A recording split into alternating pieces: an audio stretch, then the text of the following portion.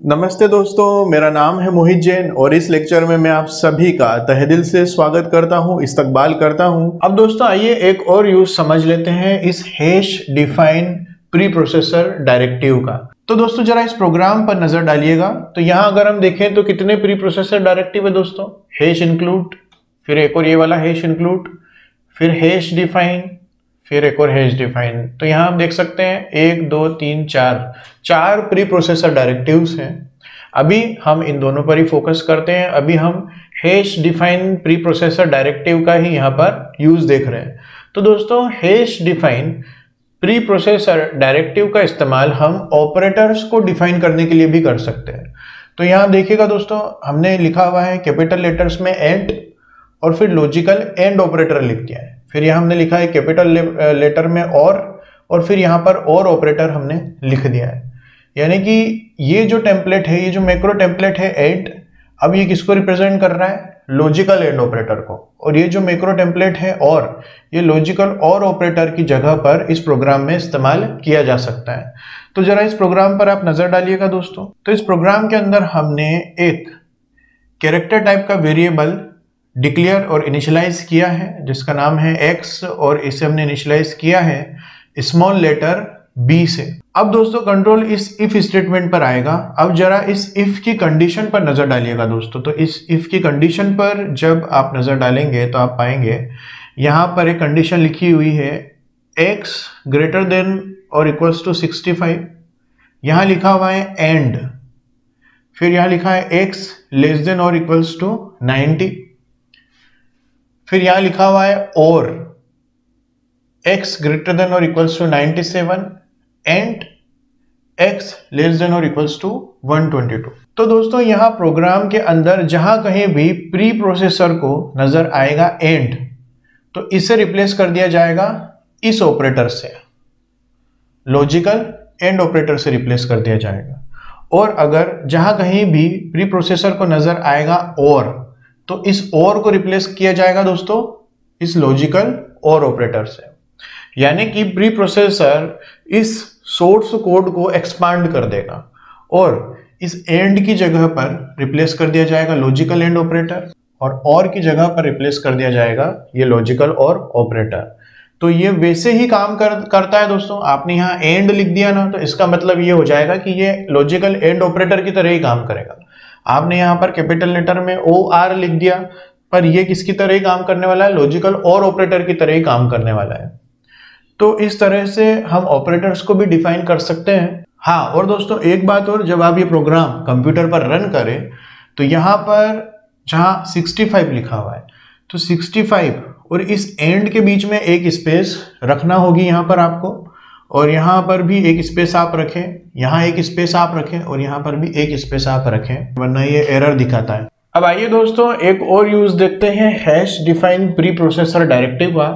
तो यहाँ पर आप देखिएगा जरा, इस प्रोग्राम के अंदर हमने लिखा है हैश डिफाइन फिर स्पेस फिर हमने टेम्पलेट का नाम लिखा है यहाँ पर कंडीशन ये एक मैक्रो टेम्पलेट है। और इसके बाद हमने यहाँ पर इसका एक्सपांशन इस मैक्रो का जो एक्सपांशन है, वो लिखा है, जो कि एक कंडीशन है यहाँ पर। A greater than zero and a less than twenty तो अब हम इस प्रोग्राम पर आते हैं, यहाँ पर मेन फ़ंक्शन के अंदर आते हैं। तो यहाँ दोस्तों सबसे पहले एक इंटीजर टाइप के वेरिएबल को हमने डिक्लेरेशन और इनिशलाइजेशन उसका किया है। तो जैसे ही ये इंस्ट्रक्शन एग्जीक्यूट होगा मेमोरी में एक ए नाम का वेरिएबल बन जाएगा, जिसकी वैल्यू हो जाएगी टेन फिर कंट्रोल आएगा यहाँ इफ़ पर। अब जरा दोस्तों इस इफ़ के अंदर इन पेरेंथिस के बीच में देखिएगा हमने सीधा सीधा यहाँ पर लिख दिया है कंडीशन तो ऐसा लिखने से क्या होगा? तो दोस्तों, ये जो हमने लिखा है यहाँ पर सीधा सीधा कंडीशन तो प्री प्रोसेसर क्या करेगा? इस कंडीशन को रिप्लेस कर देगा इस एक्सप्रेशन से. A greater than zero and a less than twenty यानी कि हमने लिखा है ऐसा, पर कंपाइलर के पास, इसकी जगह पर क्या रिप्लेस होकर जाएगा दोस्तों? A greater than zero logical and operator a less than twenty फिर इसके बाद इस इफ़ के अंदर हमने ये एक इंस्ट्रक्शन लिखा है प्रिंट एफ़ और फिर एल्स है, फिर प्रिंट एफ़ है, फिर गेट सी एच तो इस प्रोग्राम का आउटपुट क्या होगा दोस्तों? तो यहाँ पर ए की वैल्यू है टेन तो कंट्रोल आएगा, इस इफ़ के अंदर इस कंडीशन को चेक करेगा. और ये कंडीशन कौन सी कंडीशन है? ये वाली कंडीशन तो ए की वैल्यू अभी टेन है तो ज़ीरो से तो ग्रेटर है. और ट्वेंटी से छोटी है, यानी कि ये कंडीशन इवेल्युएट होकर आ जाएगी ट्रू तो आउटपुट स्क्रीन पर एक मैसेज प्रिंट हो जाएगा ट्रू क्योंकि ये प्रिंट एग्जीक्यूट हो जाएगा, ये प्रिंट इस इफ़ के ही ब्लॉक में है. तो यहाँ से आउटपुट स्क्रीन पर जो हमें नज़र आने वाला है आउटपुट वो सिर्फ़ इतना नज़र आएगा ट्रू वहाँ पर प्रिंट हो जाएगा एल्स में तो कंट्रोल जाएगा नहीं. तो दोस्तों, अब इसका क्या यूज़ हम कर सकते हैं? मान लीजिए आप कोई ऐसा प्रोग्राम बना रहे हैं जिसके अंदर एक ही कंडीशन बार बार यूज़ हो रही है। सेम एक, एक एक्सप्रेशन है सेम कंडीशन है जो बार बार हमें यूज़ करना है प्रोग्राम के अंदर। तो हम उसे ऊपर इस तरह से डिफाइन कर सकते हैं। अब जहाँ जहाँ भी हमें उस कंडीशन का इस्तेमाल करना है तो वहाँ वो कंडीशन का पूरा एक्सप्रेशन हम नहीं लिखेंगे। हम सीधा सीधा मैक्रो टेम्पलेट वहाँ पर लिखते जाएँगे। जहाँ जहाँ भी हम वो मैक्रो टेम्पलेट लिखेंगे, वहाँ वहाँ प्री प्रोसेसर उस मैक्रो टेम्पलेट को उस कंडीशन से रिप्लेस कर देगा। अब आओ साथियों, एक और यूज़ देखते हैं hash define preprocessor directive का।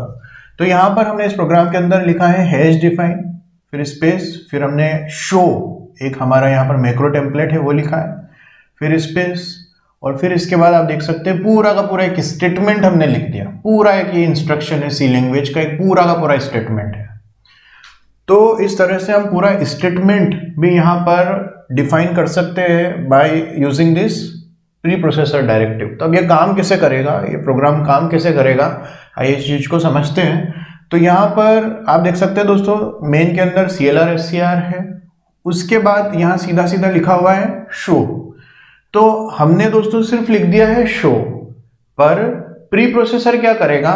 इस शो को रिप्लेस कर देगा मैक्रो एक्सपांशन के साथ, जो कि है ये स्टेटमेंट प्रिंट तो यहाँ पर हमें तो नज़र आ रहा है दोस्तों ये प्रोग्राम कुछ इस तरह से। हमें यहाँ दिख रहा है शो पर कंपाइलर के पास ये प्रोग्राम कैसे जाएगा? इस शो की जगह पर रिप्लेस कर दिया जाएगा ये प्रिंट यानी कि इस प्रोग्राम का आउटपुट हमें क्या नज़र आएगा दोस्तों?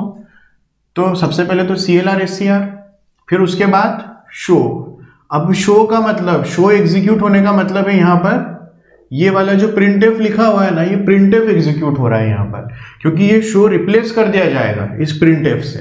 आउटपुट स्क्रीन पर प्रिंट हो जाएगा यू आर वेलकम तो दोस्तों, इस तरह के मैक्रो एक्सपेंशन का क्या फ़ायदा है? तो इसमें हम ये समझ सकते हैं कि इससे ये फ़ायदा है हमको कि मान लीजिए कोई स्टेटमेंट ऐसी है जो आपको पूरे प्रोग्राम में थ्रू आउट द प्रोग्राम अलग अलग जगह पर बार बार एग्जीक्यूट करने की ज़रूरत पड़ रही है।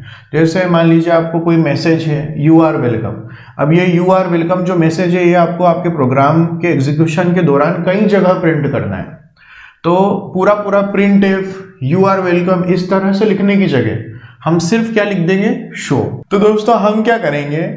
Hash define preprocessor directive की मदद से एक मैक्रो टेम्पलेट डिफाइन कर देंगे और इसके अंदर इसका जो मैक्रो एक्सपांशन होगा, वो एक स्टेटमेंट होगा पूरा का पूरा।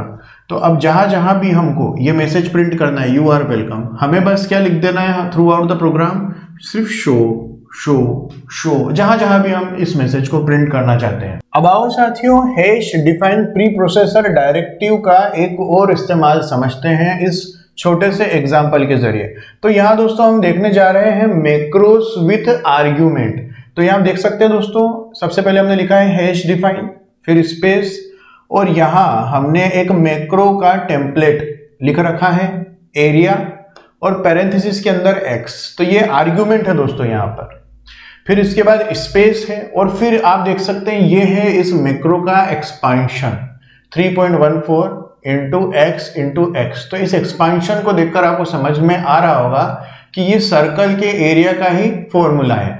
अगर सर्कल की रेडियस x है तो उस सर्कल का एरिया होगा 3.14 point one four into x into x तो यहाँ पर ये जो मैक्रो विद आर्गुमेंट है, ये हमें सर्कल का एरिया कैलकुलेट करने में मदद करने वाला है। अब दोस्तों, ये हमारा पूरा का पूरा प्रोग्राम है। अब सबसे पहले तो ये प्रोग्राम हवाले कर दिया जाएगा प्री प्रोसेसर के। फिर प्री प्रोसेसर क्या करेगा? तो प्री प्रोसेसर देखेगा कि यहाँ पर कौन कौन सा मैक्रो टेम्पलेट है। तो यहाँ एक मैक्रो टेम्पलेट हमने लिखा हुआ है एरिया एक्स तो दोस्तों प्री प्रोसेसर क्या करेगा कि जहाँ जहाँ भी हमारे प्रोग्राम में ये वाला मैक्रो टेम्पलेट मौजूद है, उसे रिप्लेस कर दिया जाएगा उसके करस्पॉन्डिंग मैक्रो एक्सपांशन के साथ। तो ज़रा देखते हैं, इस प्रोग्राम के अंदर हम नज़र डालते हैं। तो यहाँ दोस्तों, सबसे पहले आप देख सकते हैं फ्लोट टाइप के दो वेरिएबल्स हमने डिक्लेयर और डिफाइन किए हैं R1 और R2 नाम के। इन्हें इनिशलाइज कर दिया है 1.5 और 2.5 से। तो ये दो सर्कल्स की रेडियस को रिप्रेजेंट कर रहे हैं। एक सर्कल की रेडियस है R1 और दूसरे सर्कल की रेडियस है R2 फिर सी एल आर एस फिर प्रिंट टेप पर जरा दोस्तों नज़र डालिएगा। तो प्रिंट टेप पर जब आप नज़र डालेंगे तो यहाँ पर हमने लिखा हुआ है area of circle one is percentage f और फिर यहाँ कॉमन लगाकर हमने लिखा है एरिया आर वन तो प्री प्रोसेसर क्या करेगा? दोस्तों प्री प्रोसेसर इस एरिया आर वन को पहचान जाएगा। ये एक मैक्रो टेम्पलेट है यहाँ पर। अब वो इस एरिया आर वन को रिप्लेस करेगा इसके करस्पॉन्डिंग मैक्रो एक्सपेंशन से। तो यहाँ पर एज ए आर्गुमेंट एक वैल्यू पास करी गई है आर वन तो यहाँ एरिया आर वन को रिप्लेस कर दिया जाएगा 3.14 पॉइंट वन फोर इंटू अब दोस्तों x से रिप्लेस नहीं होगा। X की जगह किसने ले ली है? R1 ने। तो ये r1 इस एक्स की जगह ले लेगा यहाँ पर। तो दोस्तों प्री प्रोसेसर इस एरिया R1 को रिप्लेस कर देगा 3.14 point one four into R one into R one उसी तरह से प्री प्रोसेसर इस प्रिंट में भी देखेगा कि यहाँ पर भी एक मैक्रो टेम्पलेट लिखा हुआ है एरिया आर टू तो इसे भी रिप्लेस कर देगा वो इसके एक्सपांशन के साथ। तो दोस्तों, इस तरह से आप देख सकते हैं एरिया R1 रिप्लेस हो जाएगा 3.14 point one four into R one into R one area R2 replace हो जाएगा 3.14 point one four into R two into R two के साथ। तो ये बन जाएगा एक्सपांडेड सोर्स कोड और फिर ये एक्सपांडेड सोर्स कोड हवाले कर दिया जाएगा कंपाइलर के। आगे की कहानी तो आप समझ ही गए होंगे। यहाँ से एरिया ऑफ़ सर्कल वन की वैल्यू प्रिंट हो जाएगी, यहाँ से एरिया ऑफ़ सर्कल टू की वैल्यू प्रिंट हो जाएगी।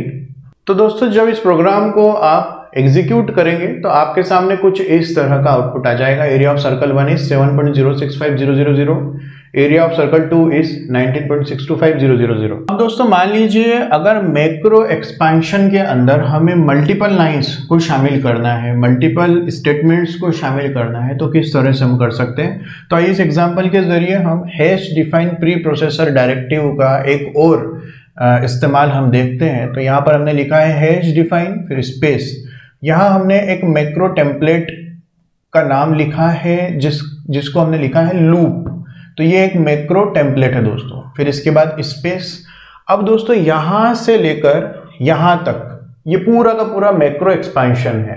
अभी इसके पहले भी हमने मैक्रो एक्सपेंशन देखे थे मैक्रो टेम्पलेट और उसके करस्पॉन्डिंग जो मैक्रो एक्सपेंशंस होते थे, वो हमने लिखे थे यहाँ पर प्रोग्राम में।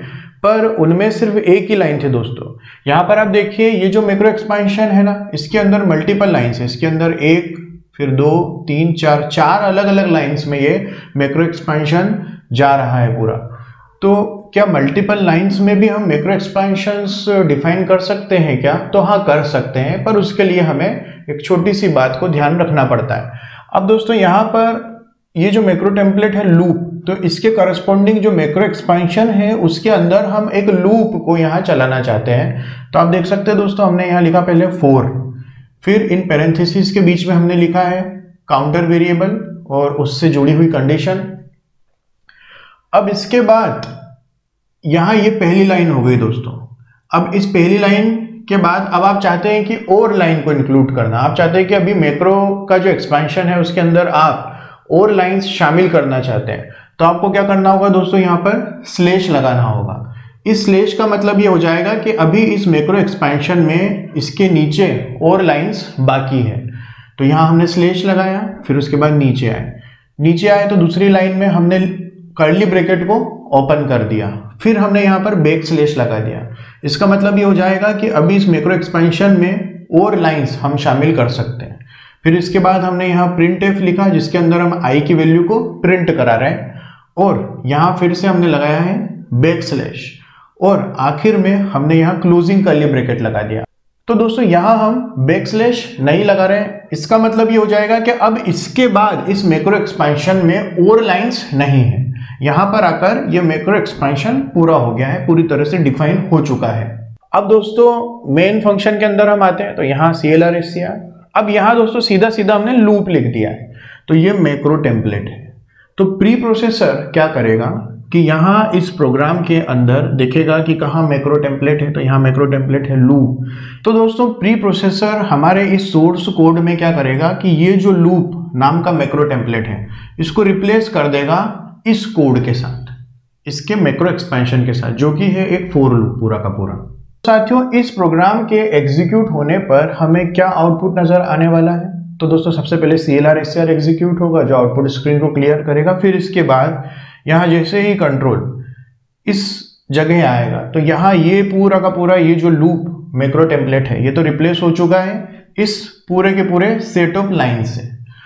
तो यहाँ ये पूरा का पूरा फोर लूप एग्जीक्यूट हो जाएगा, जो कि वन से लेकर टेन तक चल रहा है और वन से लेकर टेन तक हर एक इंटीजर को प्रिंट कर रहा है। तो आउटपुट स्क्रीन पर प्रिंट हो जाएगा one two three four five six seven eight से लेकर टेन तक इंटीजर्स फिर गेट सी एच और प्रोग्राम हमारा मुकम्मल हुआ।